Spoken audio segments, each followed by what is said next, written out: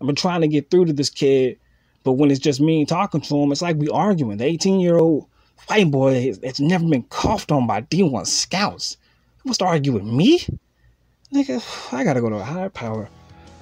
The orbs have now entered the Basilica, Janet. What on earth is going on? I don't think what's happening is on Earth Rock.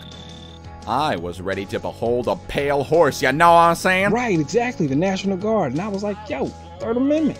Ah, Marcus Owen going third and long with the Third Amendment.